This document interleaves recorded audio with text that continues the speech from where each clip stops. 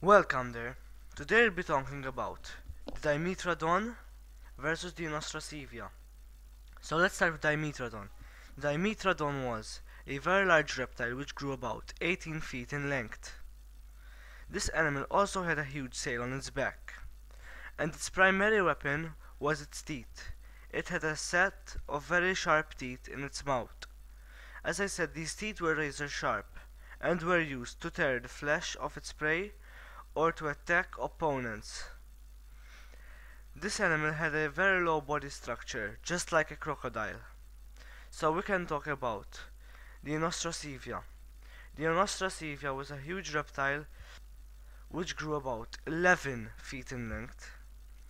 This animal had a lot of sharp teeth in its mouth and two large canines which were very sharp and huge.